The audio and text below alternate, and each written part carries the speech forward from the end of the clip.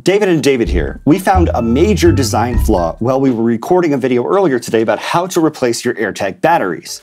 Should have been simple, and the process is theoretically simple, but the Duracell batteries that I bought at Rite Aid yesterday for $12 do not work with the AirTags. So just to prove our point, AirTags come with these Panasonic 2032 batteries. When you put them in, you're supposed to hear a sound. That's the sound that says it's ready to connect. And where did I put the other half of this thing? Oh, here it is. It's right here. Right in front of you. There you go. You hear the sound. I can bring my iPhone near it. But up the Find My app, add item, add AirTag, searching for an AirTag. There it is. Nice and easy. That's how it's supposed to work. Right, and I should be able to connect it right away.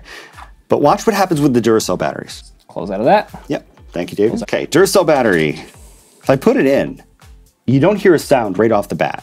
And, you know, obviously we can put the back on and we're not going to hear a sound. So I'll take it back out. And what I noticed is that I can angle the battery in like this, and all of a sudden we hear a sound. Unbelievable. That's what it's supposed to sound like. Right, but as soon as you do this, as soon as you put the back on, that connection is lost and it will not detect this AirTag.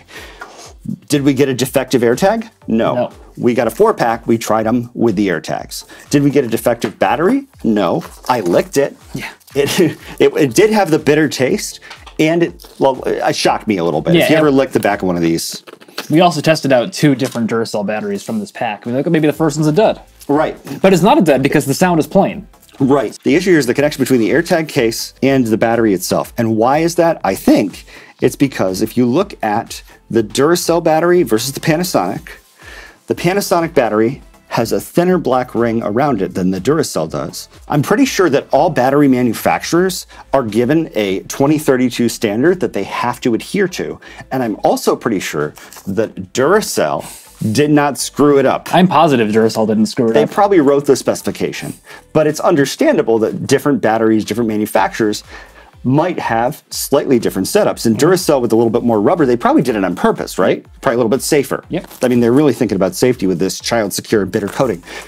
So Apple engineers obviously did not go to the store and try different batteries with their AirTags. They just got a bunch of Panasonic ones in the mail and they said, all right, we're good to go. Yeah, so what are we going to do about this? I mean, Apple's not going to recall all their AirTags because of this. Nope. They definitely have to change the specifications of the next generation of AirTags to fit. Even even this generation, they will silently push out Yeah. an update. They will. And maybe there's a class action lawsuit where you can get $3 and a free battery replacement. and the lawyers will make three hundred million dollars. But those of us who went out and bought the twelve dollar four pack, which is already a ripoff, but you're out of luck.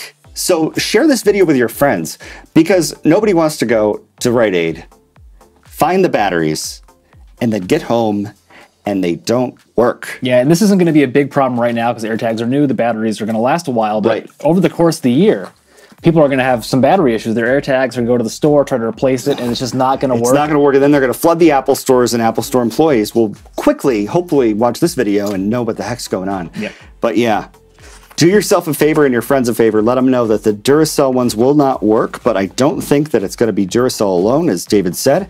Test other brands. Let us know if they work. Energizer, Energizer, Rayovac. Rayovac, store brands. Let us know. Yeah, we're going to do a follow up video, test out some more 2032, see if this problem persists across a bunch of different battery manufacturers. Yeah, I just I'm I willing to bet it cannot believe. Yeah, I cannot believe that there would be such a huge design flaw in a new Apple product. Believe it! Oops. Yeah.